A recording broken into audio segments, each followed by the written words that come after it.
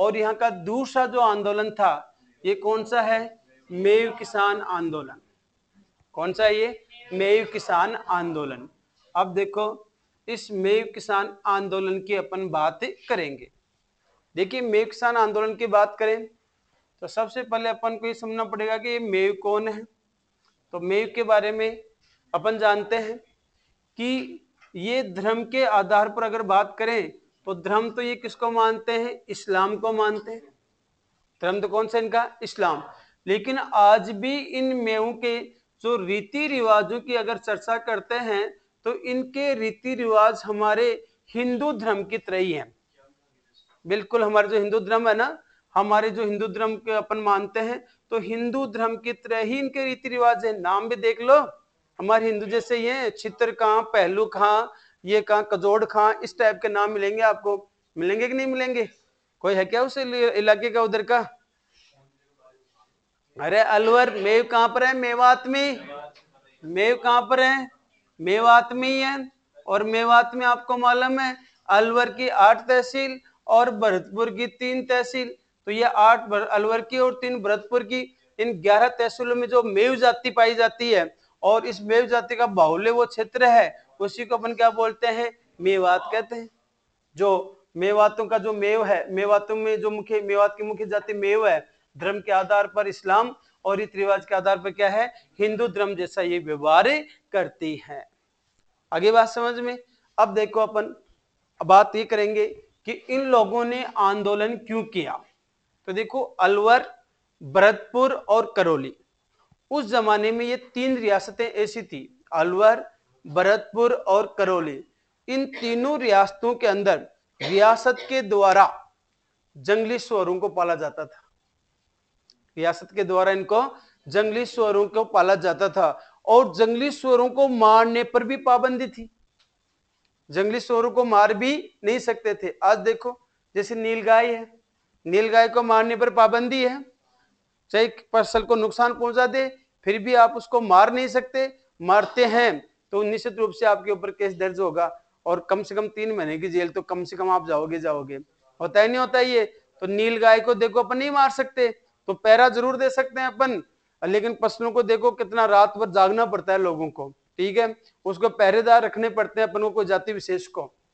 ऐसा ही यहाँ पर अलवर, भरतपुर और करौली में जंगली स्वरों को लेकर था। ये जंगली स्वरों को मारने पर पाबंदी, लेकिन ये फ़सल को चट्टे कर जाते। अब एक किसान के लिए तो भैया माई बाप कौन है? उसकी फ़सल ही ना। अगर फ़सल इतनी मेहनत करता है और उसी को अगर जंगली स्वर चट कर जाए तो वो धर्म वरम सबको भूल जाता है। उसका तो सबसे बड़ा धर्म और क्रम जो है वो उसकी फ़सल है। है कि नहीं है? अपन ही जानते हैं सबको। फ़सल उनका सबसे बड़ा क्रम, सबसे बड़ा धर्म एक किसान का वही है फ़सल। और उसको अगर कोई नुकसान होता है ना तो उसको अपने जैसे कोई बेटा सा मरता है ना वैसा उसको दुख होता है। इतना ही। तो यहाँ के किसान बड़े दुखी थे। तीनों रियासतों के थे, अलवर, भरतपुर और करौली। और यहाँ तीनों रियासतों में जो किसान आंदोलन हुए ना, इनका मुख्य आधार भी यही था, जंगली स्वरों को मारने पर, उसका मारने पर पाबंदी। जंगली स्वरों को मारने पर पाबंदी, जो कि फ़सल को क्या कर देते थे? नष्ट। और यहाँ पर जो मेव किसानों ने आंदोलन किया, इस आंदोलन का मुख्य आधार यही था। काफ़ी अनुनय, विनय, काफ़ी निवेदन किया। लेकिन किसी भी प्रकार का इनके निवेदन को साफ़ स्वीकार ही नहीं किया गया। अब निवेदन को स्वीकार नहीं किया तो मरता क्या नहीं करता? कि हम तो मरेंगे ही मरेंगे, सामने वाले को भी लेकर मरेंगे। तो 1926 से इन्होंने एक अलग ही रास्ता अपना लिया। मेहू ने इन्होंने क्या किया? गुप्त रूप से, गुप्त रूप से स्वरों को मारना शुरू कर दिया। गुप्त रूप से स्वरों को मारना उन्होंने शुरू किया। अब जैसे ही गुप्त रूप से स्वरों को मारना किया, यानी को स्वर आता आता उसको बिल्कुल साफ़ मारकर उसको ऐसे दफनाते, पता ही नहीं चलता, बिल्कुल उसका जिंगा लाला कर देते, ठीक है ना? अब उसको दफना दिया, पता ही नहीं चले, अचानक स्वरों की संख्या में भी कमी धीरे धीरे इनका साफ़ जोश और भी बढ़ गया, और इन्होंने अब क्या किया स्वरों को नहीं, कोई अगर लगान लेने के लिए पटवारी जी, कानून को वो भी इनकी रियासत, इनके इलाके में आता ना तो उनका भी जिंगा लाला करना शुरू कर दिया।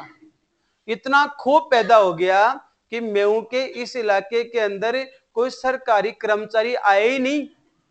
आज भी देख लो आप, राजस्थान के अंदर नब्बे प्रतिशत भैंसे चोरी होती है, वो सारी मेवात में जाती है।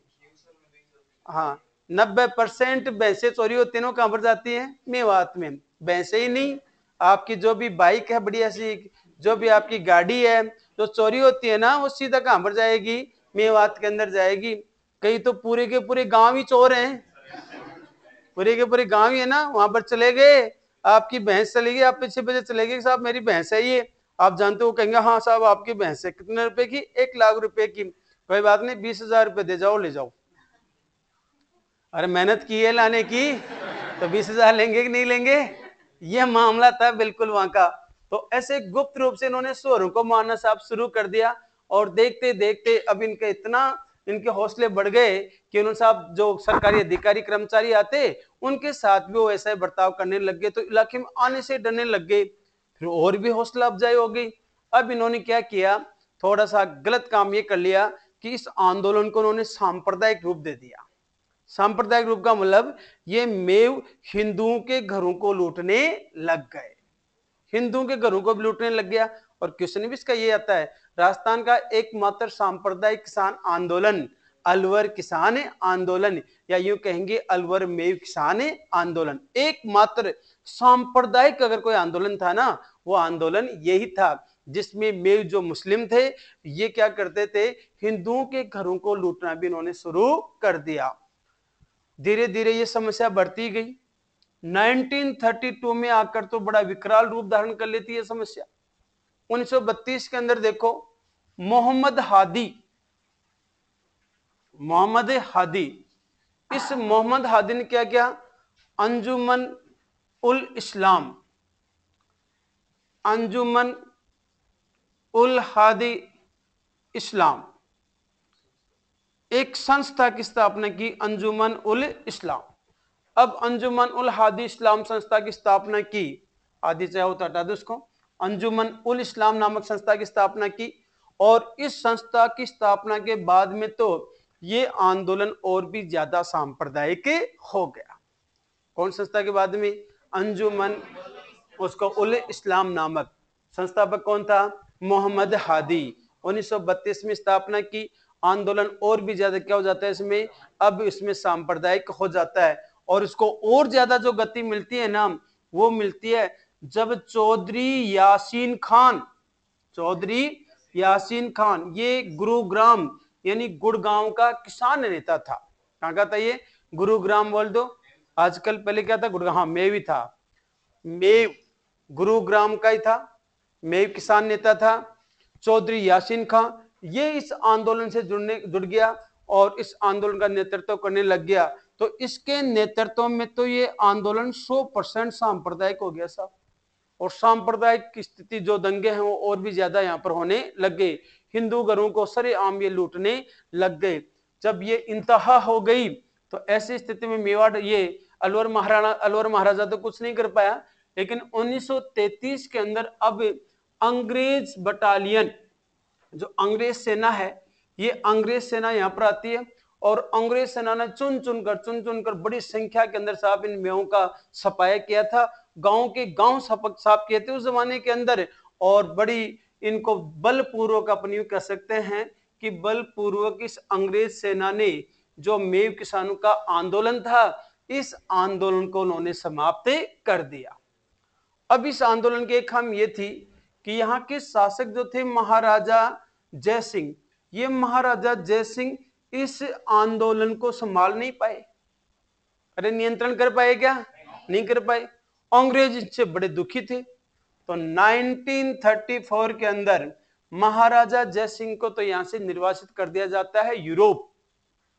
महाराजा जय सिंह को कहाँ पर भेज दिया? यूरोप। और महाराजा जय सिंह के स्थान पर इन्होंने एक नए व्यक्ति को महाराजा बनाया। वो कौन था? महाराजा तेज सिंह। कौन बनता साहब? महाराजा तेज सिंह नए यहाँ के महाराजा बने। अंग्रेज़ों ने इनको बनाया। वही यूरोप निर्वासन के दौरान ही महाराजा जय सिंह की 1930 से उनके अंदर मृत्यु हो जाती है। तो साहब, जय सिंह की तो वहाँ पर मृत्यु हो गई और यहाँ का नया महाराजा कौन बन गया? महाराजा तेज सिंह। आज़ादी तक ये ही रहता है। आज़ादी तक महाराजा तेज सिंह यहाँ के शासक रहते हैं। तो ये था अलवर किसान आंदोलन। बिल्कुल महात्मा गांधी की मृत्यु में महाराजा तेज सिंह, इनके जो प्रधानमंत्री थे, बी एन खरे। कौन थे इसके? B N Khare. ये उस वक्त हिंदू महासभा के अध्यक्ष थे, बी एन खरे। और हिंदू महासभा के अध्यक्ष जो है, इन्होंने इन्हीं से मिलने के लिए नाथुराम गौड से और उनका जो सहायक था, करकरे, ये दोनों आते हैं। तीन महीने पहले यहाँ पर पूरी योजना बनाते हैं और उस योजना को ही अंजाम दिया जाता है। तभी तो जब पता चला ना कि साहब इसकी पूरी योजना तो गांधी जी को मारने की अलवर में बनी थी तो आपको मालूम होगा, जब मत्स्य संघ का गठन हुआ था तो गठन से पहले ही अलवर का प्रशासन केंद्र सरकार ने अपने हाथों में ले लिया था।